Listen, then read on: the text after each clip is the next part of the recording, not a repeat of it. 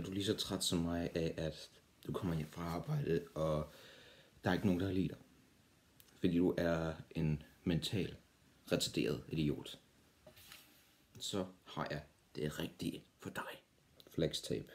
Jeg kom hjem en eller anden dag, og lige pludselig, så var alt inde i rummet bare helt ødelagt selv fokuset på kameraet. Alting var bare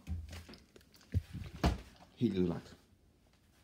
Men så en dag, bag ved radiatoren, som er så langt ind til væggen. Den er så langt ind til væggen, der overhovedet ikke kan være noget som helst der. Der fandt jeg flextape. Hvorfor er flextape så dejligt, spørger I nok. Det er meget simpelt. Det er et ødelagt produkt. Fuldstændig ødelagt.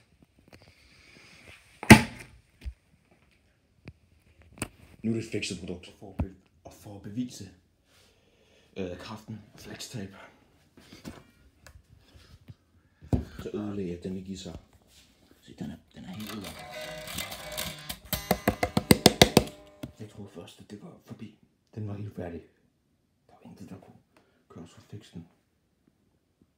Men øh, så fik jeg fat i noget flextape. Så slog det på med kraften af Zeus. På magisk vis. Så den helt fikset. Du kan bruge flextape til hvad som helst. Du kan bruge det til hvad som helst. Er din kone lidt af en bitch? Smæk det der på. Er, er, er din bil gået stykker? Smæk det på. Med, med konen, så behøver du ikke engang flextape, så behøver du bare smække den. Så hvad fuck venter du på, mand? Bare gå ud og købe noget flextape. Det koster 9.999 kroner rullen.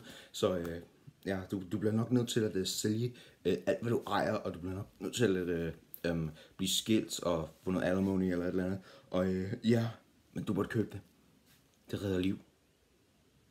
Det har ikke reddet mit liv. Det har ikke reddet nogens liv. Men det redder liv.